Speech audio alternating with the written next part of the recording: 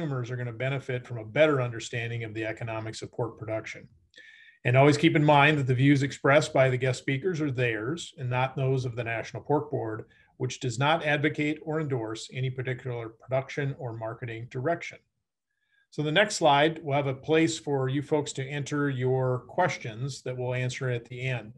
And so we're on Zoom today. And so you will see on your screen, there's a Q&A uh, button near the bottom center of your screen. And if you've got questions as we go through the report um, and hear from our economists, make sure that you type them in the chat, excuse me, the Q&A feature. And then Brian Humphreys, our Vice President of Producer and State Engagement, will help moderate that Q&A session later on today.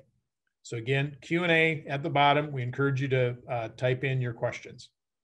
So the next slide, I'd like to introduce our speakers here today. Of course, uh, myself kicking this off. We'll have Dr. Steve Meyer, who's the economist at Partners for Production Agriculture. We'll go to Bob Brown, then Altin Kalo, and then uh, Dale Durcholz will uh, bat cleanup. And then after that, we'll uh, have everybody turn on their cameras and turn on their mics, and Brian will host the Q&A session with all of the attendees. So with that, uh, Dr. Meyer, uh, we'll go to the next slide and turn it over to you for the numbers. Thanks. Thank you, Bill, and good afternoon, everyone. It's a privilege again to be with you today, and uh, we have a great lineup of analysts uh, ready to talk to you about what uh, is in today's Hogs and Pigs report. Before we let them tell you the what it means, I'm going to tell you the what it is, and uh, so let's talk about the numbers. Uh, December 1, inventory, all hogs and pigs, 77.502 million head. That number is down nine tenths of 1%, almost precisely on what the average anal- uh, of analysts' pre report estimates as published by Urner Barry was. They were at 99%. Kept for breeding, 6.276 million head, 3% larger, uh, smaller than a year ago. The analysts expected that number to only be down 1.8%, so a little bit of difference there. Kept for marketing, 71.226 million head, down seven tenths of 1%, quite close to the analyst pre report estimates of down 1%. Uh, on the weight categories, under 50 pounds, 21.739 million head, down 1.4%, a little bit bigger than what analysts expected. 50 to 119 pounds, 20.260 million head, down 1.8%, uh, just right on the analyst number. 120 to 179, 15.246 million head, uh, virtually even with one year ago. An analyst said it'd be marginally higher, but uh, very little difference there. And finally, the 180 and over number at 13.98 million head, up 1.2% from a year ago. Analysts had thought that number would be up close to 2%, so a bit of a, def- a difference on that number as well. On the farrowing, September to November, uh, sows farrowed 3.164 million head, down 1% from a year ago, significantly larger than what analysts had expected. They thought that number would be down uh, almost 4%. These Feb intentions, the 3.118 million litters, up 1.6%. Uh, analysts had expected that number to be down 1.7, so another uh, significant discrepancy there. On March May intentions, 3.123 million head, down eight tenths of 1%, pretty close to the analyst expectation of down 1.4.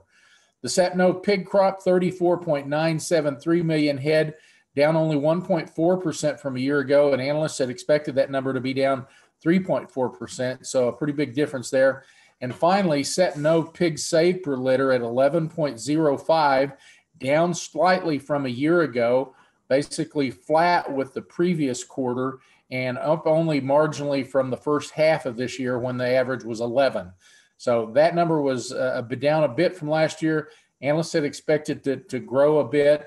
Uh, there was probably some kind of selective uh, weaning going on on some pigs even during the Sep-Nov quarter. Uh, so, Bill, that's the numbers. We'll pass it along, I believe, to Bob Brown, who's going to be talking to you about, uh, I think, mainly some revisions. Bob?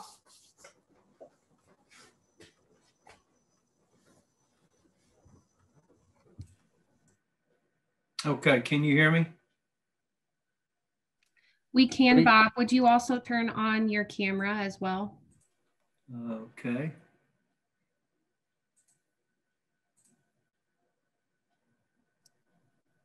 Great. Okay. Yay. well, the USDA uh, did it again for us. Uh, they reached way far back. I mean, the, the biggest, they had a revision even to last December's uh, total inventory, 820,000 head, 1%. The biggest revision came in the uh, June 1st inventory. They, they, re, they reduced that number by 2 million head, which is 2.5%. Uh, uh, part of that was a million head revision in the Dec-Feb pig crop and about a 300,000 head revision in the March May pig crop, down 2.8% uh, and 0.8%. Uh, I, I, guess to kind of epitomize the kind of turmoil they were looking at also, uh, the 180 and up uh, market, market hogs on the September report, uh, they revised those down 1.1 million head, I think it was. It was uh, uh, uh, 14, about 14.2 million in, when it was reported in September. And this report had it at about 13.1 million. So it's like, whew, you know, uh, one of those reports that you uh, they have a hard job and, and uh, it's, it's just difficult in the turmoil that we were seeing and was going on. Uh, I would say that uh, uh, the biggest surprise for me was an upward revision in the June August pig crop. It looked like they raised that pig crop almost a million head, uh, which is like, okay, those hogs will be, let's see, June, August, those hogs will be slaughtered starting now. So we ought to start seeing them now, uh, uh, uh December, February time period. Um, there were uh, no revisions, I don't believe, in the breeding herd and uh, Altin, I think you're going to talk about the breeding herds. Yes, thanks, Bob. Um, yeah, so I guess on the, the breeding herd number was probably one of the more surprising numbers in the report if you were to look at what the analysts were expecting coming into this. Uh, however, you have to kind of look at how these analysts are, are coming up with some of these estimates. Uh, you know, you, you, you look at what the breeding herd was in the previous quarter. Uh, there's some sort of a, an idea as to usually how those numbers change from quarter to quarter, and you come up with that estimate. However, uh, what this uh, report from the USDA shows is that producers appear to retain fewer gilts in the last quarter. And then you add on top of that the higher rate of slaughter. Uh, according to my estimates, September, November uh, sow and boar slaughter was about 5.3% lower, I'm sorry, higher than it was the previous year. Uh, so you're, you're starting the, the quarter you know, it, with about 6.33 million hogs, you know, then you're you're subtracting, you know, a, a larger number of of, uh, of sows and, and boars from that. Uh, and according to, again, according to my calculations, I think that gilt retention during the quarter was about 6% lower than it was during the same quarter a year ago. And so by the end of the September November quarter, so on December 1, the breeding herd was 6, 6.276 million head, 3% lower than it was a year ago. It is the smallest breeding herd that we've had since early 2018. Again, to put the number in perspective, the, the year, the quarter to quarter decline, so from September to December, was 0.9%. The last time that we saw that type of a decline in the breeding herd was in uh, December of 2014. To me, it underscores some of the decisions and some of the issues that the farmers are currently having to deal with uh, and the producers are having to deal with. Uncertainty in the domestic market as far as demand is concerned. You know when is the demand going to start to kick in obviously tied to the pandemic know what's going to happen with export demand? Is that going to hold together the way it held together during much of 2020 and in part of in part of 2019 and then you have the uncertainty regarding you know feed costs and i think dale is going to talk a little bit more to that. So to me the the decline in the breeding herd is one of the more important numbers in this report and it speaks to the uh, uncertainty as far as overall supplies for the summer and the fall of 2021. And I'll pass the baton to, to Dale, Dale, I guess.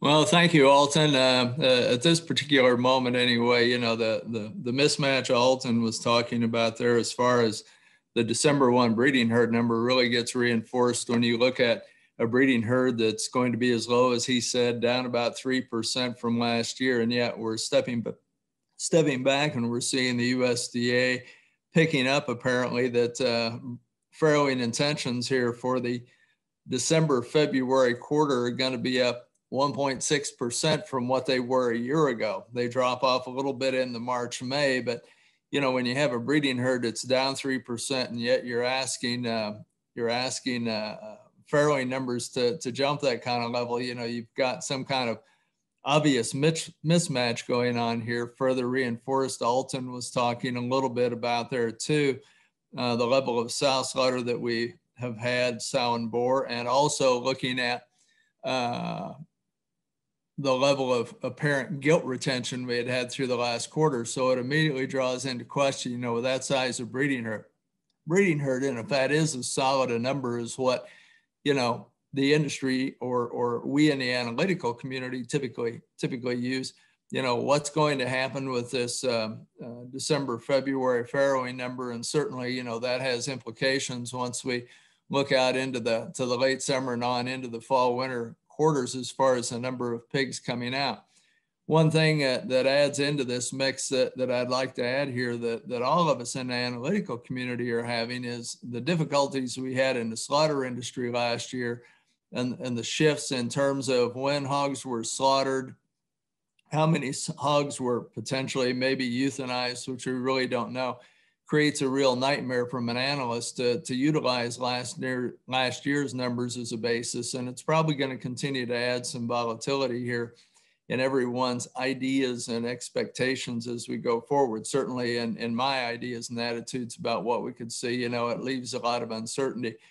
The other thing going along with this dilemma between the size of the breeding herd and looking at that farrowing intention number is what's happened to the feeding ingredient side of the situation. And I see and hear this somewhat on a daily basis as I talk to those in the in the farm community itself that sold corn, soybeans, you know, too early, whether it was last summer or early last fall, and seeing where prices are today. On the flip side of this, when you look at the the feed ingredient side of not only the hogs, but all, also any of the, the meat producing industries we have here in this country, you know, how well are those people covered and the level of coverage that they've, they have in place and going forward certainly is going to have some implications as we step back and we start to look what kind of farrowings are they going to pursue as we move forward into 2021 itself. So again, you know, it's a situation to where we're seeing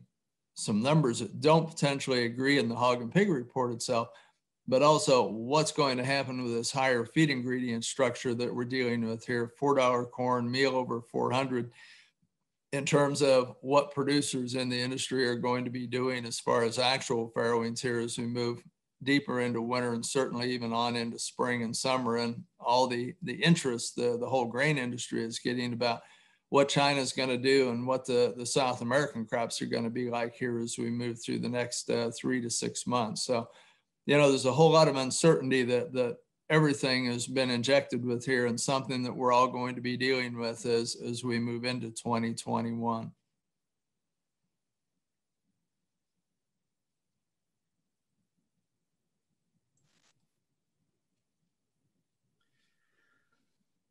Dale and all of our speakers, uh, very much appreciate that. Uh, for folks on the call, uh, down at the bottom, you'll see a Q&A section. If you'd like to go ahead and type in your questions there, uh, all of our speakers will be turned on their cameras and we'll be available to, to answer your questions uh, as they pop up here.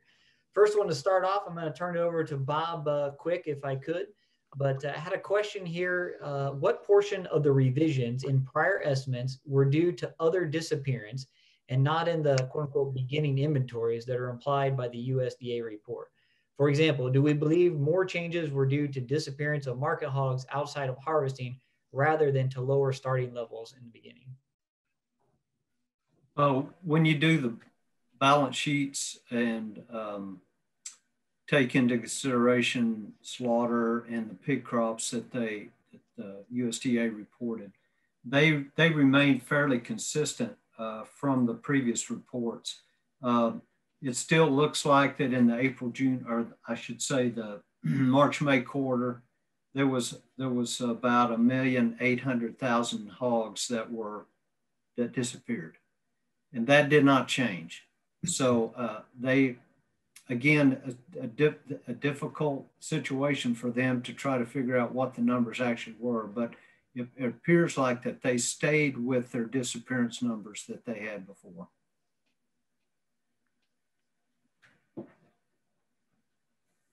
Dale or Altin or Steve, anything you'd like to add there?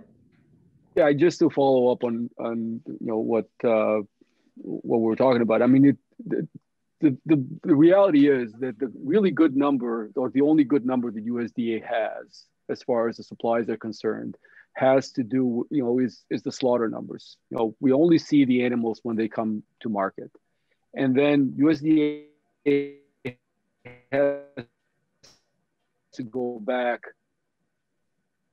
and so because of all the disruptions due to COVID, uh, you know, some some disappearance, things of that, that nature. It become it's a really tough job for the USDA to then go back and use their regular methods to make some of these adjustments. It's also hard for us to know, you know, what proportion, you know, was due to disappearance, what you know, what, what it was because of you know the the, the mismatch of, of or and miscounting of previous years. And so you know what Bob just said is that you know you you look at what those implied disappearance numbers are and see if they made any adjustments there. And it didn't seem like they did. You know, I come up, I do the same thing that Bob does, run a balance sheet, and that one that kind of allows you that you know to see how the numbers kind of shift from one year to to the next. And I I come up with a 1.75 uh, you know million uh, head difference for that March May uh, quarter. So again, it, it's it's hard to say, but as far as the USDA is concerned, the, to them the really the real number is the slaughter number, and this year that methodology has gotten methodology has gotten a little bit screwed up because of all that's been going on.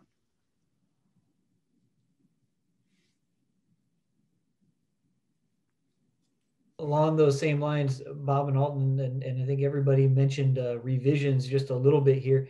Um, is is the number of revisions here uncommon, uh, or is that something that uh, has uh, happens as we go through these reports and additional data is found? Uh, I'll, I'll, just kind of oh, go ahead, Bob, and I'll. Yeah, in my in my experience, the reaching back to last December to start there, I mean, to, to uh, that that was a little bit unusual. I thought the the that was a full one percent revision. That's that's a little bit high. I mean, I think that was a little bit, and then to but again, you got to remember, you got to remember the environment starting in March, uh, you know, was fraught to start with. Okay, so I'm cutting them a little slack. Altin, did you have something else? Yeah, and I, no, I, I, and I don't have. I mean, we we we haven't had enough time to go back and do a comparison of the revisions over time to see how this stacks up with previous, they always make revisions, a little bit here, a little bit there. Numbers never match with what comes to slaughter. I would guess that probably 2014 is probably one of those years where we saw major revisions. And yeah. again, it was a year when this pretty significant shock due to the PED, uh, you know, uh, outbreak. And so, but it, it, this is a fairly significant revision that was made to the numbers, but it also fits with what's been going on in the industry for the last you know nine months and all the, the major dis- disruptions that have you know changed just about everything and the way we do business you know to, to back up what what altin and, and bob both said you know anytime you have the kind of disruption that you had last spring with with the, the slaughter of hogs or cattle whatever the case may be you know you're, you're going to have a lot of uncertainty that's injected into the mix. And and you know as altin mentioned you know the final the final arbiter of everything is the number of hogs slaughtered. And that's all we've really got to work with and all we really have to go on. So as we go through time, we're able to look at those numbers and we're able to look at the, the past hog and pig reports and kind of deduce, you know, maybe where, where we were, what happened. But because we don't count other disappearance, AKA hogs that are euthanized or any other such as sundry items, because, you know, that number isn't counted, you know, it, it's always difficult to say, you know, what actually was the actual situation. And, it, and whenever you have unusual circumstances, this is going to be the reality and that there's going to be some uncertainty that's injected until we start moving away and we can adequately look back and see what really went on. I appreciate that. Uh, one of the other questions, uh, and we've got a couple coming in through the question and answer session. For those of you on the call, uh, feel free to jump on. It's the Q and A part down there in the bottom part of your screen, and go ahead and send them to us. Um, we've uh, had a, a, couple of folks that had sent in messages to us uh, asking about sow slaughter uh, and uh, the the um, fewer gilts, lower retention, and yet uh, how can farrowing intentions be higher than last year? And Altin, you addressed that a little bit, but wanted to open up for discussion among the rest of the groups to among the rest of the speakers to have a conversation there. Bob, you wanna... Go ahead, Bob, and I'll talk.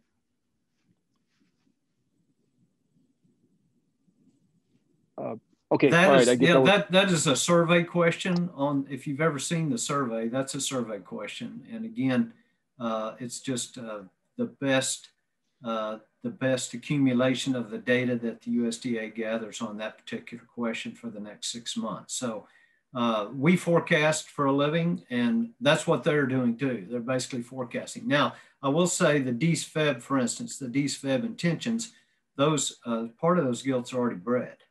So mm-hmm. you know that about half those gilts are already bred. So they should have a pretty good handle on that. And and so you know again, like Altin said earlier, it also brings into question: uh, was the breeding herd really down that much?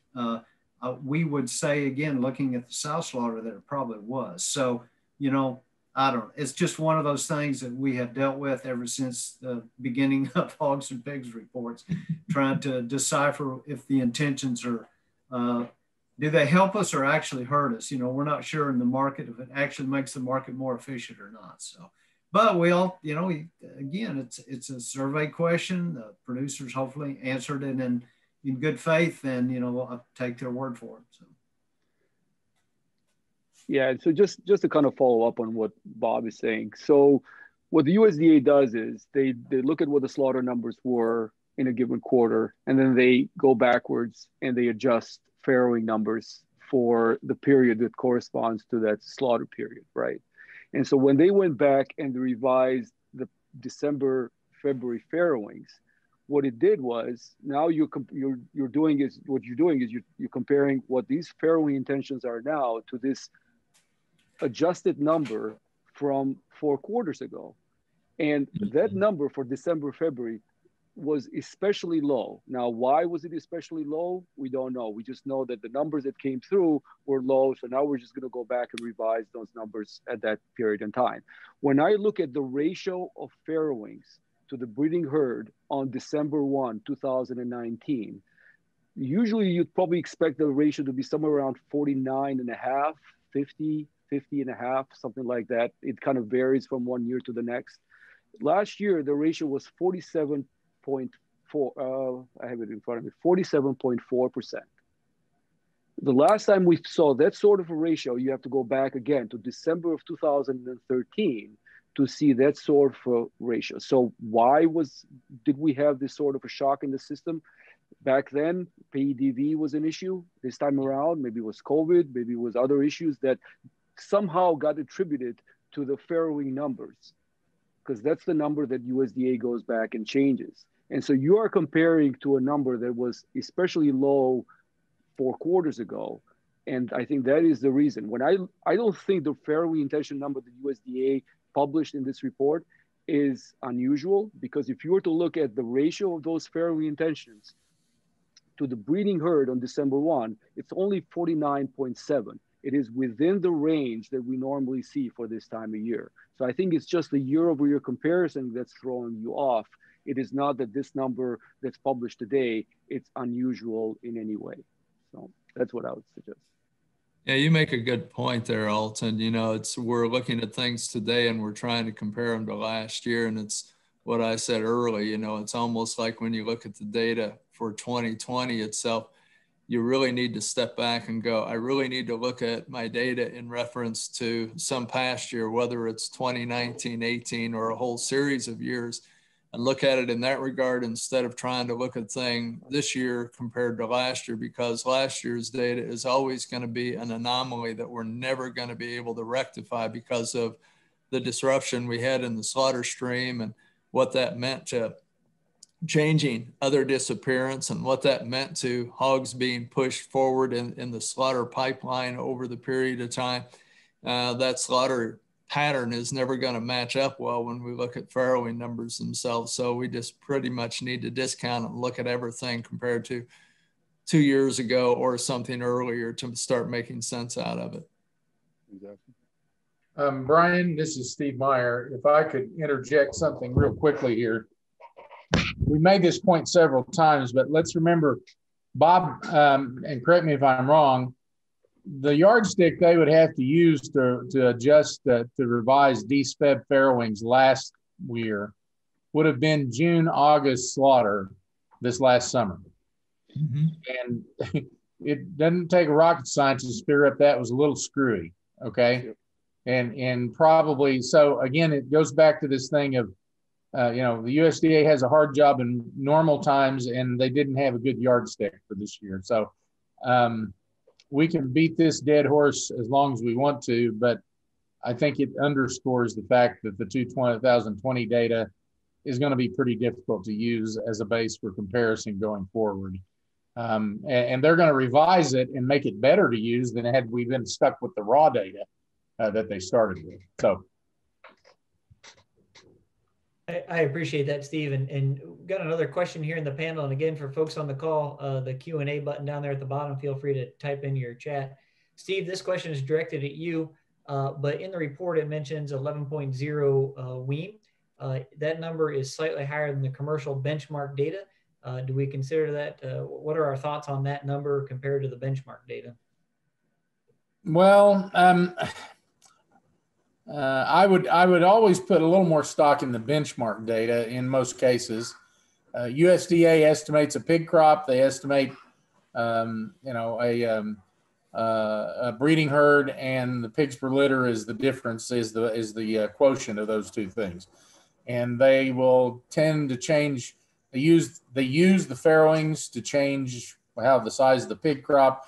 They won't ever back off of that 1105 that's there right now. So um, I think it's important to just put it in context of the history. Uh, and, and, the point that we made earlier was that the 1105 is no larger hardly than the first half of the year. And this is a number that has grown pretty steadily at one and a half percent over the last four or five years. And so you've got a flattening of that litter size. Um, I, I, think also that uh, the, the, the commercial uh, benchmark systems are were weighted pretty heavily to the large producers, and, and, I believe that the large producers may have been more active in trying to uh, control the number of pigs that went out of their their farrowing units into nurseries, and limit those uh, in some fashion so that they stayed within what they can get into their packing plants and that kind of thing as we go forward. So. Um, I guess I'm not too worried about it that it's different. Uh, I think it's important to keep it in the context of time. And I would open that up for the other three of you to comment on as well. Good. All right. Uh, next question here, uh, and, and one I had not considered before, so I think it's a great question. But does USDA give any info on the number of producer participation or the percent of producer participation in the survey? Uh, and if they do, has that number gone up and down uh, in the past? And I don't have any idea on that one. Steve, you want to talk about their stratified sampling and their area frame sampling? Anybody? Anybody want to dive into that? No, I think you can do that, Bob. Go right ahead. You actually know the one. You know the words. I don't think I know well, the words. Go ahead. That's the only. That's the only problem. I. okay, so the way the USDA they they they stratify the the uh, producers by size, mm-hmm. and then then they sample them. Uh, the they try to hit all the big ones, and but again they don't they don't offer us that data. Okay, so just to put they try to hit all the big ones, and then again a sampling of as they go down the stratification, the size. They try to they, they sample the rest of them, make inferences for the total. Uh, then, then they also, I think once a year, the December report, actually, I think they do an area frame where they actually look at the number of animals in a particular geographical area. So, and, and then they try to match up all that data over time. I mean, I'm very, it's my, I'm simplifying it quite a bit, but again, they do not offer us any data on uh, what percent of, of returns of, of the sampling. Actually, they do, Bob. Oh, uh, okay. Uh, on at the top of page 14, the last page of the report, under survey procedures, they sent out roughly 6,000, uh, random sample of roughly 6,000 U.S. producers was surveyed. Um, it ensured that all hogs and pig producers, regardless of size, had a chance to be included. Large operations were sampled more heavily than small ones. During the first half of December of 2020, data was received from 4,500 of those, a 70.7 uh, percent uh, response rate. The data uh, is received by electronic, mail, telephone, and uh, when, regardless of when they respond, they were asked to report inventories as of December 1st. So for this survey, it was 70.7%. And uh, many of you have heard me on my soapbox preaching, you know, if you don't respond to the survey, it can't be very accurate. So uh, they can't get do any better than what the data is they get. And uh, historically, I don't know what that number is. I don't. I don't either. I, I, I, don't know. Yeah. But I, I think it is. I think it is mentioned at the top of that last page every quarter. So yep. you can always look at that. Yeah, it is. And as a follow up to go along with that, they also, uh, at the back end of their reports, I know on the grain reports, and even as I remember looking at the hogs and pigs and the cattle, they also have um, uh, the statistical data that talks about the accuracy of, uh, of the reports themselves over history of time too. But they're very upfront about their procedures and, and their results uh, that, that they get, you know, in their survey process itself. They don't try to hide any of that. Excellent. Bottom line for everybody on the call, make sure you're participating in the USDA uh, surveys and NASS reports so that we can we can help out there. Another question that just came in, uh, uh, and it relates to the sow slaughter numbers again, but uh, how heavily are the numbers in this report uh, and other reports impacted by Canadian sows coming into to U.S. slaughter or in these numbers? Uh, and any idea of the impact of Canadian sows on, on this report?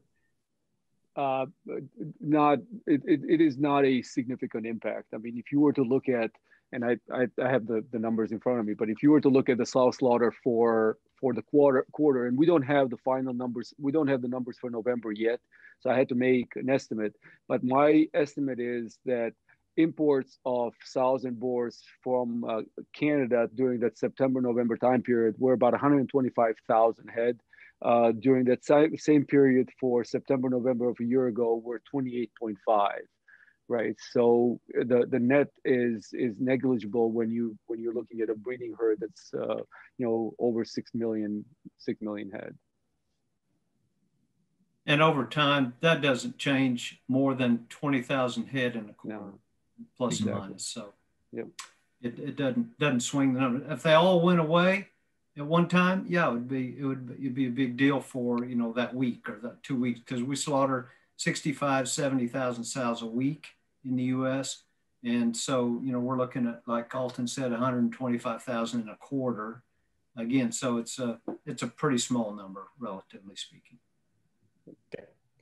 A couple of questions have come across uh, my, my phone here from folks on the call, uh, but curious as to, I know some of you had a chance to dive in a little bit deeper into the data on a state by state level, but curious on a state by state level if there's any indication of backups of pigs that we've discussed uh, or what it means. And one of the questions on the screen here was specifically dis discussing uh, the pigs under 50 pounds in Iowa uh, versus December 2020 versus December 2019. Uh, so didn't know, Bob, I know you had looked at that a little bit. Didn't know if you wanted to kick off that discussion.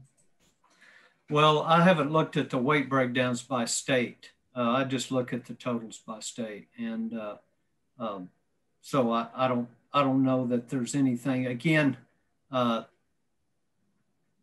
if you if you you got to make a decision at some point for yourself, are we are we backlogged or not? Okay, and so this is the way I'll just tell you. This is the way I made it. Okay, this is not answering the question he asked. So that's the danger with analysts. They'll tell you what you know, what they know. They won't necessarily answer your question. Okay, so I'm going to tell you what I do know. Okay, we watch these weights. That that to me, this is critical. This was critical this year. We watch these weights go up and up and up and peak in May and then start coming down and down and down. Okay, and it appeared to us, and I say us, it appeared to me that there was significant uh, participation in maintenance maintenance rations during the summer. Uh, weights dropped much faster than normal. Again, they were way high, so they were record high to start with. And about Labor Day, weights met the five-year average met a year ago. Okay, so they zeroed out from from the prior year and then turned on a dime and went sharply higher. Okay, went up very quickly. Again, if you give a hungry hog, you know, more food, he's going to gain weight, right? So I figure all the hogs were pretty hungry if they were on maintenance rations for a while. But what, so in my mind, by the end, by the first week in September or by the first half of September, producers had decided we have cleared the backlog and we can start feeding our hogs again. Again, that, that's just my conjecture. Uh, that's uh, just an observational analysis based on what I've seen the weights happen. So I'm going to say, from my analysis, we are we do not have hogs backed up. Uh, regardless of what his question was, uh, that, that was the answer to that question. I'll, I'll just follow up on, on what you just said, Bob. I mean, I think part of it also has to do with where where some of these hogs are are located and who owns them. Uh, and I think that's the issue sometimes with anecdotal evidence, right? So, uh, you know, you can talk to a producer in an area and everything where he is and all the friends that he talks to, you know, they're all caught up and they see no issues. In some cases, they may see shortages. But then you can look at a different part of the market and then you can see an indication where there may be some backups. Uh, my argument all along has been that if there were some backups, they were probably more so on the packer side than they were on the producer side. And one of the things that you look at is if you look at a breakdown of weights by who owns those hogs, weights on packer owned hogs have been incredibly high through the fall. Part of it is because they can manage better than the producers can. You know, they own the, the, the, the packing plant, so they can schedule those hogs when they come in. But in some cases, the weights on those hogs were four and a half, five percent higher than a year ago. And so uh, when I look at this report that just came out, uh, you look at the breakdown of the various categories by state. North Carolina, 180 pound and over hogs. There were 180,000 more hogs than a year ago in that category, 12% more than a year ago. Indiana, 90,000 more hogs than in that, again, in that bucket, 180 pound plus than a year ago. So 9% more than a year ago. The question I think was on the lighter hogs. Well, there's some pretty significant differences in there too. So in North Carolina, you have significantly more hogs than a year ago in that 180 pound and over category. But then when you look at the 50 pound and under, they have 385,000, I'm sorry, 365,000 head less, 11% less than they did a year ago. So it seems like if you've got a few more hogs on the front end, that you're kind of dragging them along. Well, what you try to do is you slow things down on the back end in order to kind of make everything sort of match over time. And so it seems like that's part of that's part of what's been going on. And I think it's been going on for for some time here, where you have certain market participants that are able to do so where they're kind of slowing the whole chain down. And the way you slow it down is you you have more on the back end on the front end that you're you're you're not able to to work through. And so you sort, sort of continue to slowly uh, decrease the numbers on the back end until eventually everything gets sorted out and then you're back in balance again. Well, another thing that added into that too, Altin, is we were going through a period of time here up until recent where we were steadily dealing with a seasonal increase in supply of hogs over time too. And so if you were slowing things down on the front, you, you keep backing that up a little bit.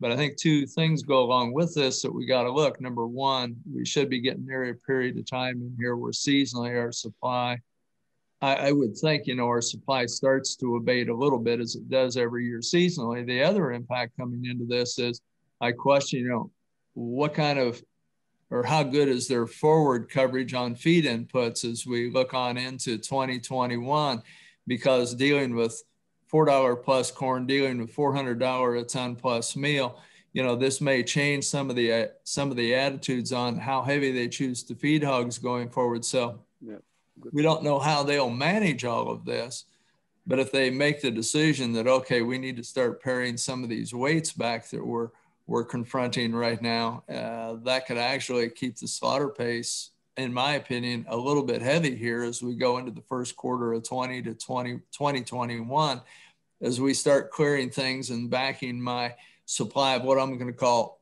market ready hogs down a little bit to get my weights down a little bit. So it's going to be interesting to see how they manage this situation over the course of the next couple of months.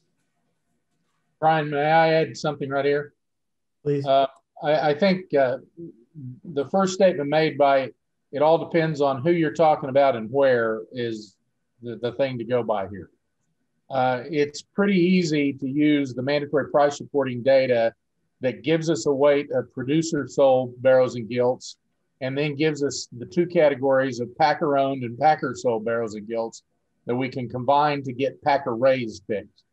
Last week, the the the relative uh, between those, producers sold barrows and gilts weighed 215 pounds.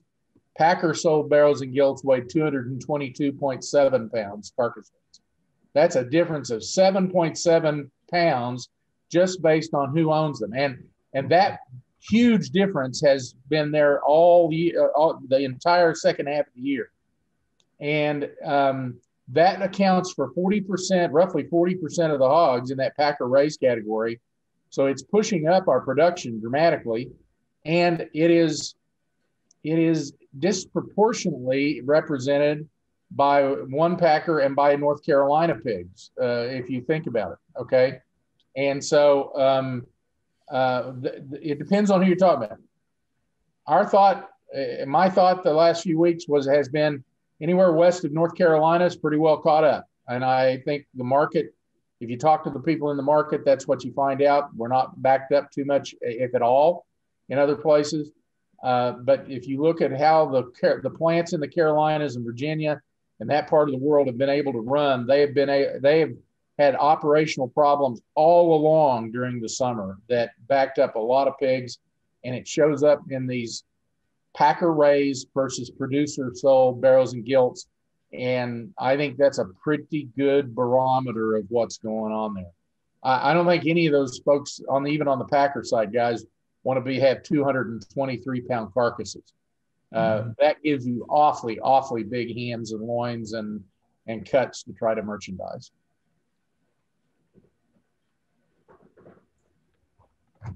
Make another call here for questions. Uh, it appears we've answered all of them in the, the chat so far. So if folks on the call have additional questions, click that little Q&A thing down there at the bottom.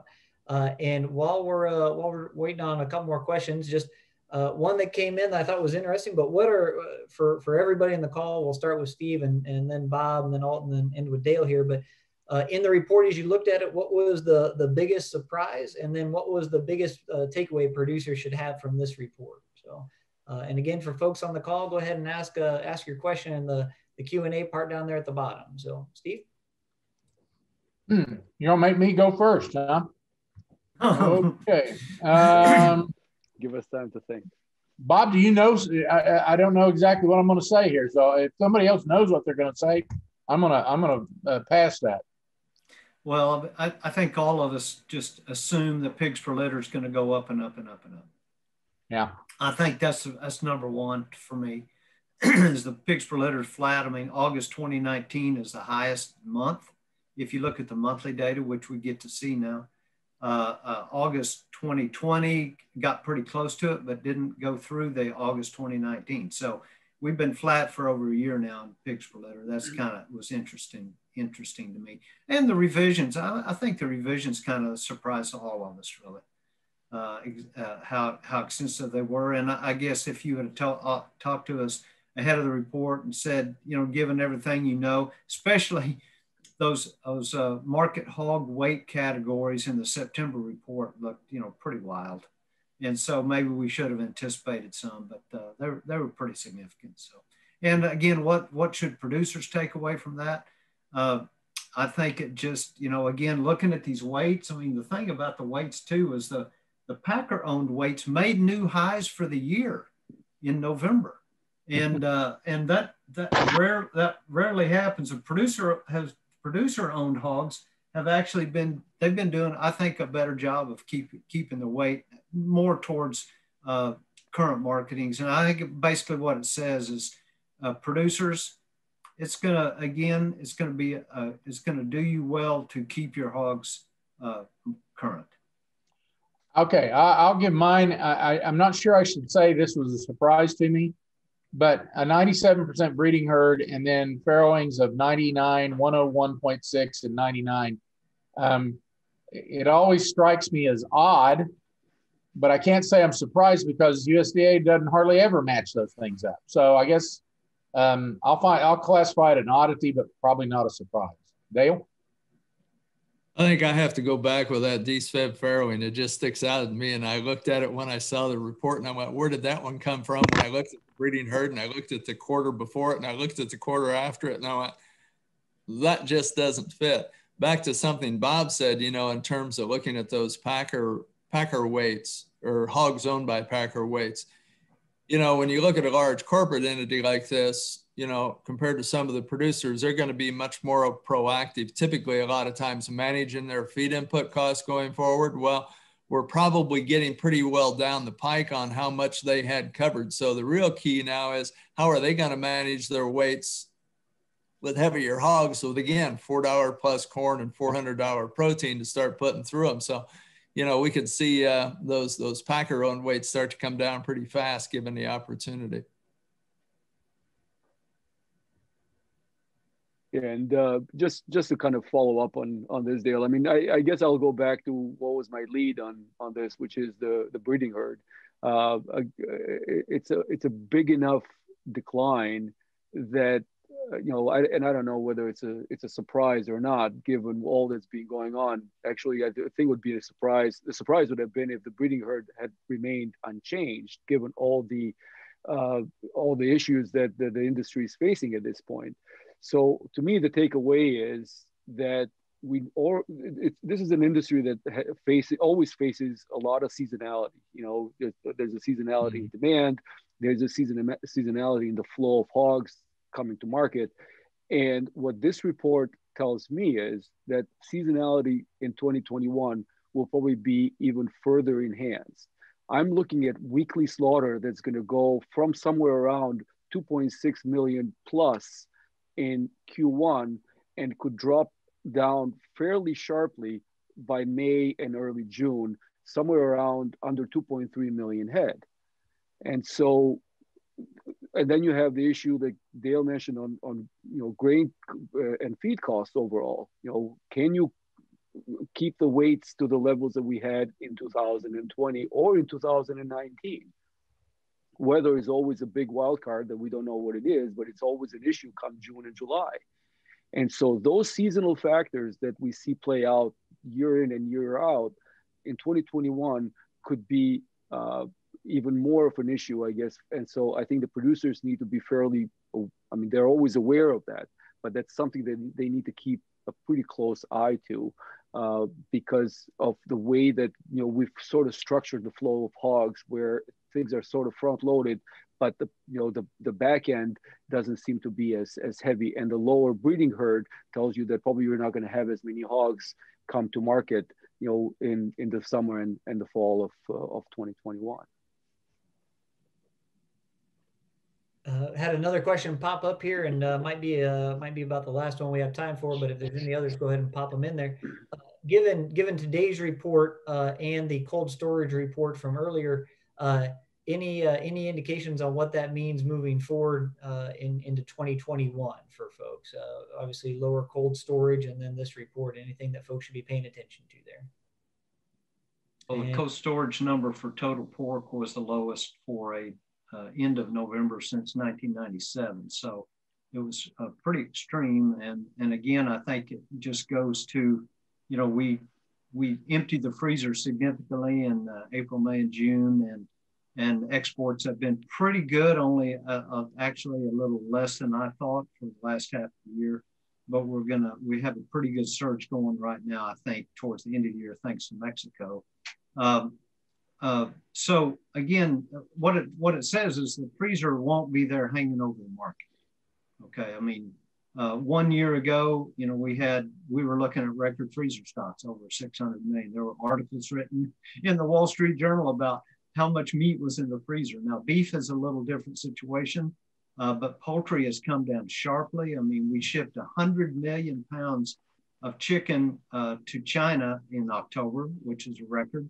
So again, that's that's different. So uh, we're just not we won't have the freezer stocks hanging over the market. Uh, I think that's probably one thing that uh, we can all agree on. So maybe the USDA needs to add another category to the cold storage report and start surveying consumers how much meat they have in the freezer. Right, that'd be great. Well, seriously, you know, I know uh, back in the summer, even into early fall, you could not buy a deep freeze anywhere in the United States. There were none on the floors.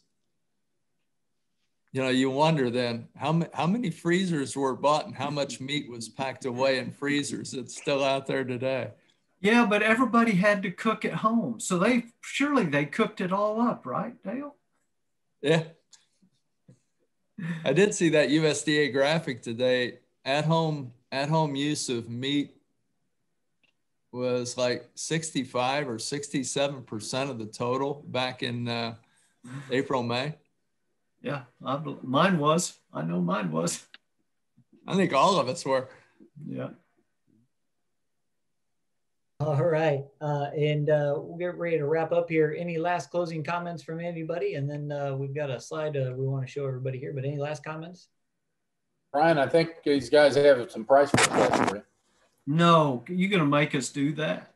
I think, I think Brian, something you know, we haven't talked about exports. I mean, uh, African yeah. swine fever is still an issue in the world, and uh, it's, a, it's, still a dang scary thing. And uh, from all I can tell, as soon as U.S. producers heard about it in 18, in the summer of 2018, they put the pedal to the metal, and so they haven't fared too well, in my estimation, just based on exports to China uh, necessarily. But uh, 2021 will look quite a bit different.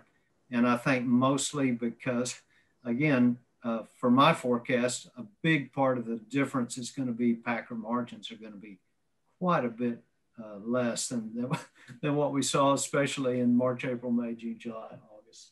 So I'll go first on price forecast. Um, Mine is a CME equivalent.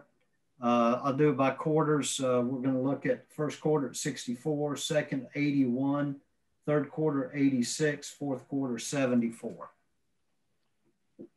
So that'd be the index, Bob? That'd be the index, yeah. Should I have done that slower? No.